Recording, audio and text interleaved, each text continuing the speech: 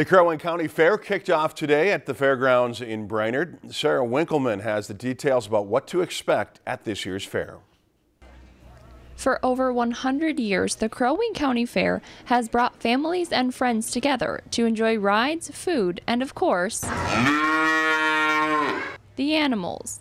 Playing a large role in the county fair, as always, are the 4 H members. It's a very good youth orientated program that makes the kids realize exactly what's going on in real world agriculture here in the barns. All of the 4 H'ers' hard work pays off when they get to show their animal at the Crow Wing County Fair. They're showing their projects, the projects that they've worked pretty much all year on or all summer on, to the general public and, and educating the general public as to what these animals represent. The livestock showing isn't only a fun time for the kids, but for many adults as well. It's wonderful to see them when they get that, that ribbon and, and walk away with a big smile on their face. Then all the hours that we put into it makes it all worthwhile. Not only are there plenty of animals to see at the Crow Wing County Fair this year, but fairgoers can even play with these four-day-old piglets.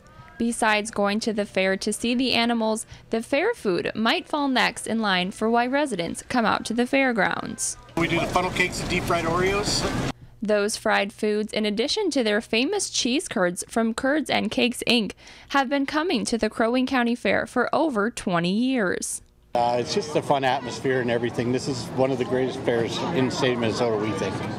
Even though the fair has been around for quite a long time, after a large storm left damage last year, there are still new upgrades to see. And we've got some new roofs on, and, and everything is beautiful all the way down the middle. All of the, the old food booths have been all new roofs on them and, and all painted up. And so we're really proud of how everything kind of came together. The community all comes together for one common goal each August. It, it's all about the families and it's all about the kids. The Crow Wing County Fair will continue to run through Saturday. Reporting in Brainerd, Sarah Winkleman, Lakeland News. The fair's new grandstand event will take place tomorrow night with the monster truck races. If you've enjoyed this segment of Lakeland News, please consider making a tax-deductible contribution to Lakeland Public Television.